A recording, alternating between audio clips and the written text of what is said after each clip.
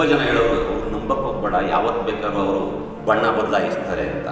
ಹಸಿರು ಶಾಲನ್ನು ತೆಗೆದು ಕೇಸರಿ ಶಾಲೆ ಬಣ್ಣ ಹಾಕೊಂಡಿದ್ದು ಒಂದು ಸಂಕೇತ ಅದಷ್ಟೇ ಇಲ್ಲ ಅಂದರೆ ಮಕ್ಕಳು ಇನ್ನು ನಮ್ಮ ಕಣ್ಣೆದುರುಗಡೆನೆ ಅನಾಥರಾಗ್ತಾರೆ ನಮ್ಮ ಕಣ್ಣೆ ಇನ್ನು ಒಂದು ವರ್ಷ, ಎರಡು ವರ್ಷದಲ್ಲೇ ಈ ದೇಶದಲ್ಲಿ ಸಂವಿಧಾನ ಇರೋಲ್ಲ.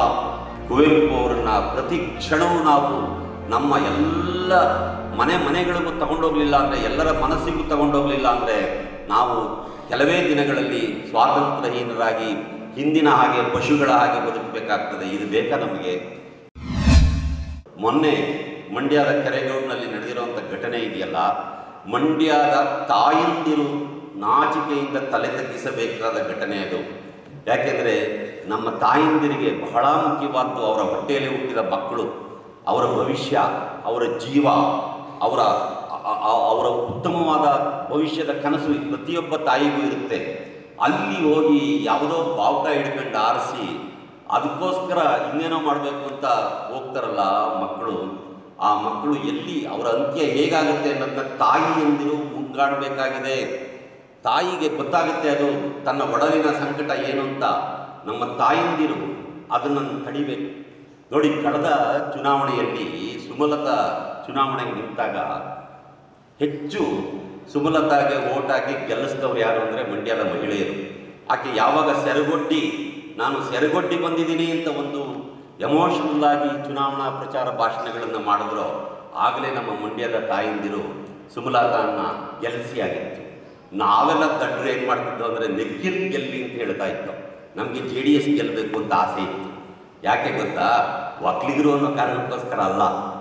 ದೇ, ಜೆ ಡಿ ಎಸ್ಸು ಒಂದು ಕಾಂಗ್ರೆಸ್ಗೆ ಪರ್ಯಾಯವಾದ ಪಕ್ಷವಾಗಿರಲಿ ಅಂತೇಳಿ ಒಂದು ಕಾಂಗ್ರೆಸ್ ಒಂದು ಕನ್ನಡದ ಅಸ್ಮಿತೆಯನ್ನು ಕಾಂಗ್ರೆಸ್ ಕೂಡ ಹಿಂದಿಯ ಹೈಕಮಾಂಡ್ನ ಅಡಿಯಲ್ಲಿ ಬರುವಂಥ ಒಂದು ಪಕ್ಷ ಬಿ ಜೆ ಪಿನೂ ಅದೇ ಥರದ ಪಕ್ಷ, ಕನ್ನಡಿಗರದ್ದು ಒಂದು ಪಕ್ಷ ಇಲ್ವಲ್ಲ, ಜೆ ಡಿ ಎಸ್ ಇದ್ದರೆ ಅದನ್ನು, ಆ, ಇದನ್ನು ಪೂರೈಸಬಹುದೇನೋ ಅನ್ನುವ ಆಸೆಯಿಂದ ನಾವು ಜೆ ಡಿ ಎಸ್ನ ಕನ್ನಡದ ಪಕ್ಷ ಅಂತ ಹೆಮ್ಮೆಯಿಂದ ಕರೀತಾ ಇತ್ತು ತುಂಬ ಜನ ಹೇಳೋರು, ಅವ್ರು ನಂಬಕ್ಕೆ ಹೋಗ್ಬೇಡ, ಯಾವತ್ತು ಬೇಕಾದ್ರೂ ಅವರು ಬಣ್ಣ ಬದಲಾಯಿಸ್ತಾರೆ ಅಂತ.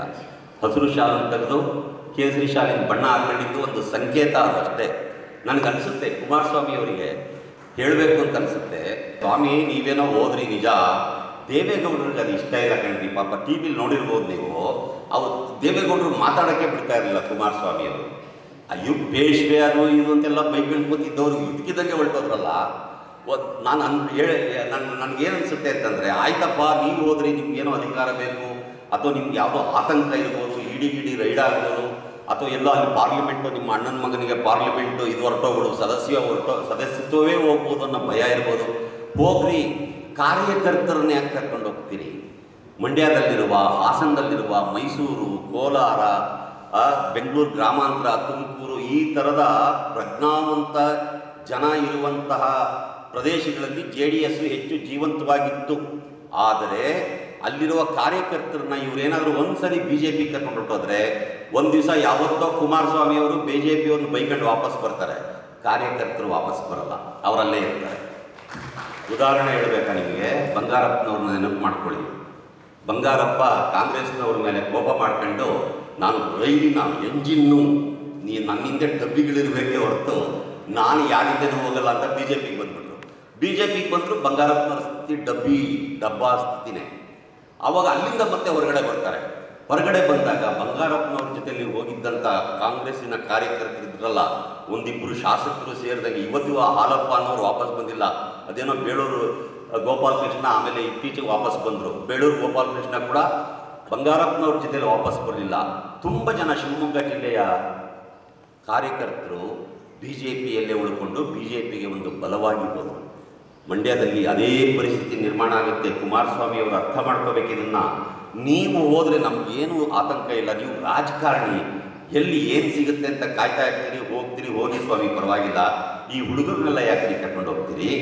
ಈ ಹುಡುಗರು ಒಂದ್ಸರಿ ಹೋದರೆ ಅವ್ರನ್ನ ವಾಪಸ್ ತರೋದು ಬಹಳ ಕಷ್ಟ. ಅದು ಎಂಥ ನಶೆ, ಧಾರ್ಮಿಕ ನಶೆ ಅನ್ನೋದಿದೆಯಲ್ಲ ಎಷ್ಟು ಇರುತ್ತೆ ಅಂತಂದರೆ ನೀವು ಯಾವ ಹೆಂಡ ಕುಡಿಸಿದ್ರು ಅಂಥ ನಶೆ ಬರೋಲ್ಲ. ಅಂಥ ನಶೆ ಬಂದ್ಬಿಡುತ್ತೆ. ಆ ಆ ನಶೆಯನ್ನು ಇಳಿಸ್ಬೇಕು ಅಂತಂದರೆ ಹುಡುಗಾಟ ಅಲ್ಲ ರೀ. ನನಗೆ ಹತ್ತಿದ ನಶೆಯನ್ನು ಇಳಿಸ್ಕೊಳ್ಳೋಕ್ಕೆ ನಮ್ಮ ಕೀರಂ ಎಷ್ಟು ಕಷ್ಟಪಟ್ಟರು ಅಂತ ಕಾಳೆಗೌಡರು ಗೊತ್ತು, ಕೆ ವಿ ನಾರಾಯಣಿಗೆ ಗೊತ್ತು. ಭಾಳ ಕಷ್ಟ, ಒಂದು ಸರಿ ಅದು ಮೈ ಮೇಲೆ ಏರ್ಕೊಂಬಿಟ್ರೆ ಕೆಳಗಡೆ ಇಳಿಸೋದು, ದೇವರು, ಧರ್ಮ, ಸಂಪ್ರದಾಯ, ಇವೆಲ್ಲವೂ ಕೂಡ ಒಂದು ನಶೆ.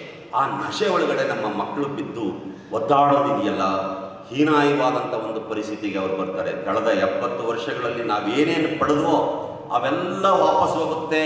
ನಮ್ಮ ಹುಡುಗರನ್ನ ಹೊರಗಡೆ ತರಲೇಬೇಕು. ಅದಕ್ಕಾಗಿ ನಾವು ಎಷ್ಟು ಶ್ರಮ ಆದರೂ ಪರವಾಗಿಲ್ಲ. ಇಲ್ಲ ಅಂದರೆ ಮಕ್ಕಳು ಇನ್ನು ನಮ್ಮ ಕಣ್ಣೆದುರುಗಡೆನೆ ಅನಾಥರಾಗ್ತಾರೆ. ನಮ್ಮ ಕಣ್ಣೆ ಇನ್ನು ಒಂದು ವರ್ಷ, ಎರಡು ವರ್ಷದಲ್ಲೇ ಈ ದೇಶದಲ್ಲಿ ಸಂವಿಧಾನ ಇರೋಲ್ಲ. ಮತ್ತೆ ಅವರು ಗೆದ್ದು ಬಂದರೆ ಅಥವಾ ಮತ್ತೆ ಅವರು ಅಧಿಕಾರವನ್ನು ಹೇಳಿದ್ರೆ ಸಂವಿಧಾನಕ್ಕೆ ಆತಂಕ ಇದೆ. ಇದು ನಾನು ಹೇಳ್ತಾ ಇರೋದಲ್ಲ. ಅವರೇ ಹೇಳ್ತಾರಲ್ಲ ಸ್ವಾಮಿ, ಯಾಕೆ ಕೇಳಿಸ್ಕೊಳ್ಳಲ್ಲ ಸಂವಿಧಾನವನ್ನು ಬದಲಾಯಿಸುವುದಕ್ಕೆ ನಾವು ಬಂದಿರೋದು ಅಂತ ಹೇಳ್ತಾ ಹೇಳ್ತಾವಲ್ರಿ? ಗೊತ್ತಾಗಲ್ವ ನಮಗೆ? ನಮ್ಮ ಕಿವಿಗೆ ಏನಾದರೂ ಕಾಕ್ಸೀಸ ಈಗಲೂ ಇರವ್ರ? ಯಾವಾಗಲೂ ಒಯ್ದಿದ್ರು ನಿಜ. ಆದರೆ ಈಗ ಬಾಬಾ ಸಾಹೇಬರು ನಮ್ಮ ಕಿವಿಗಳನ್ನು, ಕಣ್ಣುಗಳನ್ನು ತೆರ್ಕೊಳ್ಳಿ ಅಂತ ಎಷ್ಟು ಸುಲಭವಾದಂಥ ಸ್ವಾತಂತ್ರ್ಯ, ಸಮಾನತೆ, ಸಾರ್ವಭೌಮತ್ವ ಇವೆಲ್ಲವನ್ನು ಸಂವಿಧಾನದಲ್ಲಿ ಕಲ್ಪಿಸಿಕೊಟ್ಟಿದ್ದಾರಲ್ಲ ಈಗಲೂ ಯಾಕೆ ನಾವು ಕಾಗಸೀಸ ಉಯ್ಕೊಂಡವ್ರ ಥರ ಕೂತ್ಕೊಂಡಿರ್ಬೇಕು? ಹೇಳ್ತಾ ಇದ್ದಾರೆ ಪಾಪ ಅವ್ರು ಬಾಯ್ ಹೇಳ್ತಾ ಇದ್ದಾರೆ ಅವರ ಅನೇಕ ಸಂಕೇತಗಳು ನಿಮ್ಗೆ ಹೇಳ್ತವೆ. ನಾನು ಒಂದು ಸಣ್ಣ ಪುಸ್ತಕನೂ ಬರೆದಿದ್ದೀನಿ. ಕುವೆಂಪು ಅವರನ್ನ ಪ್ರತಿ ಕ್ಷಣವೂ ನಾವು ನಮ್ಮ ಎಲ್ಲ ಮನೆ ಮನೆಗಳಿಗೂ ತಗೊಂಡೋಗ್ಲಿಲ್ಲ ಅಂದರೆ, ಎಲ್ಲರ ಮನಸ್ಸಿಗೂ ತಗೊಂಡೋಗ್ಲಿಲ್ಲ ಅಂದರೆ, ನಾವು ಕೆಲವೇ ದಿನಗಳಲ್ಲಿ ಸ್ವಾತಂತ್ರ್ಯಹೀನರಾಗಿ ಹಿಂದಿನ ಹಾಗೆ ಪಶುಗಳ ಹಾಗೆ ಬದುಕಬೇಕಾಗ್ತದೆ. ಇದು ಬೇಕಾ ನಮಗೆ? ಕುವೆಂಪು, ಅವರು ಹೇಳಿರುವ ಯಾವುದೇ ಒಂದೊಂದು ಸಾಲಗಳನ್ನಾದರೂ ಗಮನಿಸಿ ನೀವು. ಪ್ರತಿಯೊಂದರಲ್ಲೂ ಒಂದಿದೆ. ನೋಡಿ, ನಮ್ಮ ಜನ ದೇವ್ರ ಪೂಜೆ ಮಾಡ್ತಾರೆ. ಕುವೆಂಪು ಅದನ್ನು ಅದನ್ನು ಕೂಡ ಪದ್ಯವನ್ನು ಪ್ರಸ್ತಾಪ ಮಾಡ್ತಾರೆ. ಸಪ್ತ ಕಲ್ಲುಗಳ ಮುಂದೆ ಹತ್ತು ಕರೆದನ್ನು ಸಾಕು, ಜೀವದಾತೆಯನಿಂದ ಕೂಗಬೇಕು. ಏನ್ರೆಯ ಸತ್ತೋಗಿರೋ ಕಲ್ಲೆದುರುಗಡೆ ಹೋಗಿ, ದೇವರೇ ಕಾಪಾಡು ದೇವರೇ ಕಾಪಾಡು ಅಂತೀರಿ. ನಿಮ್ಮ ಜೀವದಾತೆಯನ್ನು ಕೂಗಬೇಕು ಅಂತ ಹೇಳ್ತಾರೆ. ಮುಂದಕ್ಕೆ ಹೇಳ್ತಾರೆ ನೂರು ದೇವರುಗಳನ್ನೆಲ್ಲ ನೂಕಾಚೆ ದೂರ. ಬಹಳ ರಾಗಬದ್ಧವಾಗಿ ಆಡ್ತಾರೆ ಕುವೆಂಪು ಅದ್ರ ಬಗ್ಗೆನೇ ಹೇಳ್ತಾರೆ. ಅವ್ರು ಯಾರೋ ಆಕಾಶವಾಣಿಯವರು ಪುರಂದರದಾಸರ ಗೀತೆ ಆಡ್ದಂಗೆ ಆಡ್ತಾ ಇದ್ರು ಅದನ್ನ. ಇದು ಒಂದು ವೀರಗೀತೆ. ಈ ಗೀತೆಗೆ ಒಂದು ವೀರತ್ವದ ಶಕ್ತಿ ಇದೆ. ನೂರು ದೇವರುಗಳನ್ನೆಲ್ಲ ನೂಕಾಕೆ ದೂರ ಅಂತ ಹೇಳೋದು ಸಾಮಾನ್ಯವಾದಲ್ಲ ನೋಡಿ, ನಮ್ಮ ಜನರ ಮನಸ್ಥಿತಿ ಹೇಗೆ ಅಂತಂದ್ರೆ, ನಮ್ಗೆ ಏನೋ ಒಂದು ದೇವರು ಬೇಕು ಕಣ್ರಿ. ಏನು ಇಲ್ಲದೆ ಇದ್ರೆ ಪೂಜೆ ಮಾಡೋಕ್ಕೆ ಭಾಳ ಒಂದು ತಿಪ್ಪೆ ಮೇಲೆ ನಿಂತ್ಕೊಂಡು ಊದ್ಗಡ್ಡಿನಾದರೂ ಹಚ್ಬೇಕು ನಾವು. ಒಂದು ಸಗಣಿ ಬೆನಕನ್ನಾದರೂ ಮಾಡ್ಕೋಬೇಕು. ಒಂದು ಕಲ್ಲಿಟ್ಬಿಟ್ಟು ಮುನಿಯಪ್ಪನಾದರೂ ಮಾಡಬೇಕು. ಆಗ ಹಿಂಗೇನೋ ಒಂದು ಬೇಕು. ಅದಕ್ಕೆ ಕುವೆಂಪು ಯೋಚನೆ ಮಾಡಿದ್ದಾರೆ ಬಸವಾದಿ ಶರಣರು ಏನು ಮಾಡಿದ್ರು? ಇಷ್ಟದೈವದ ಪರಿಕಲ್ಪನೆ ಎತ್ತಂದರು. ನೀನು ಯಾವುದನ್ನು ಇಷ್ಟಪಡ್ತೀಯೋ? ಇಷ್ಟಲಿಂಗ. ಅದು ನಿನ್ನ ದೈವ. ಸ್ಥಾಪಿತ ದೈವಗಳು ದೈವಗಳಲ್ಲ. ನಿನಗೆ ಇಷ್ಟ ಬಂದ ದೇವರನ್ನು ನೀನು ಪೂಜಿಸ್ಕೋ. ನೀನು ಮನಸ್ಸಿನಿಂದ ಇಷ್ಟಪಟ್ಟದ್ದು. ಕುವೆಂಪು ಏನು ಮಾಡ್ತಾರೆ? ಒಂದು ಒಳ್ಳೆ ದೇವರನ್ನೇ ತೋರಿಸ್ತಾರೆ. ಯಾವ ದೇವರು ಅದು? ಅದು ಎಡಪಂಥೀಯರಿಗೂ ದೇವರು, ಬಲಪಂಥೀಯರಿಗೂ ದೇವರು. ಅದು ಮುಸಲ್ಮಾನರಿಗೂ ದೇವರು ಕ್ರೈಸ್ತರಿಗೂ ದೇವರು, ಹಿಂದೂಗಳಿಗೂ ದೇವರು. ಅದು ಲಿಂಗಾಯತರಿಗೂ ದೇವರು, ಬ್ರಾಹ್ಮಣರಿಗೂ ದೇವರು, ಒಕ್ಕಲಿಗರು ದೇವರು, ಹೊಲೆಯರಿಗೂ ದೇವರು, ಬೇಡರಿಗೂ ದೇವರು, ಗಸ್ತರಿಗೂ ದೇವರು, ದೊಡ್ಡವರಿಗೆ ದೇವರು, ಚಿಕ್ಕವರಿಗೂ ದೇವರು, ಗಂಡಸರಿಗೂ ದೇವರು, ಹೆಂಗಸರಿಗೂ ದೇವರು. ಯಾರೂ ದೇವರಲ್ಲ ಅಂತ ಹೇಳಕ್ಕೆ ಸಾಧ್ಯವೇ ಇಲ್ಲ. ನೂರು ದೇವರುಗಳನ್ನೆಲ್ಲ ನೂಕಾಕೆ ದೂರ. ಭಾರತಾಂಬೆಯೇ ದೇವಿ ನಮಗೆಂದು ಪೂಜಿಸುವ ಭಾರ. ದೇಶವನ್ನೇ ದೇವರು ಅಂತ ಕರೆದ ಮಹಾಕವಿ ಕಣ್ರಿ ಕುವೆಂಪು. ರಾಮನ ದೇವರು ಅನ್ನದ ನಾವು, ಕೃಷ್ಣನ ದೇವರು ಅನ್ನದ ಇನ್ಯಾರನೋ ದೇವರು ಅನ್ನೋದೋ, ಅಥವಾ ಈ ದೇಶವನ್ನ ದೇವರು ಅಂತ ತಿಳಿಬೇಕಾಗಿದೆಯೋ? ಯಾಕೆ ಕುವೆಂಪು ಹೇಳಿರುವ ಈ ಮಾತನ್ನು ನಮ್ಮ ಜನ ಅರ್ಥ ಮಾಡ್ಕೊಳ್ತಾ ಇಲ್ಲ? ದೇಶ ದೇವರಲ್ವಾ? ಇಲ್ಲಿ ನಾವು ನಿಂತಿದ್ದೀವಿ ಇಲ್ಲಿ ನೀರು ಕುಡಿತೀವಿ, ಗಾಳಿ ಉಸಿರಾಡ್ತೀವಿ, ಬದುಕ್ತಾ ಇದ್ದೀವಿ ಸಂತೋಷವಾಗಿದ್ದೀವಿ. ನಮ್ಮ ಈ ಎಲ್ಲ ಸಂತೋಷಗಳಿಗೆ ಮೂಲವಾದದ್ದು ಈ ಭೂಮಿ ತಾಯಿ. ಈ ಭೂಮಿ ತಾಯಿಯನ್ನ ದೇಶ ಅಂದರೆ ಭೂಪಟ ಅಲ್ಲ, ಮನುಷ್ಯ. ಮನುಷ್ಯ, ಮನುಷ್ಯನನ್ನು ನೀವು ಪ್ರೀತಿಸ್ತಾ ಇದ್ರೆ ದೇಶ ಹೆಂಗ್ರಿ ಪ್ರೀತಿಸ್ತೀರಿ?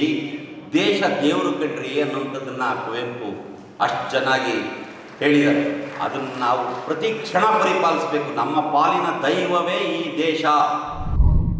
ಮತ್ತಷ್ಟು ವಿಶೇಷ ವಿಡಿಯೋಗಳನ್ನು ನೋಡಲು ಮತ್ತು ಹೊಸ ವಿಡಿಯೋಗಳ ಬಗ್ಗೆ ತಿಳಿಯಲು ಈ ದಿನ dot com YouTube channel subscribe ಮಾಡಿ ಮತ್ತು ಬೆಲ್ ಐಕಾನ್ ಕ್ಲಿಕ್ ಮಾಡಿ.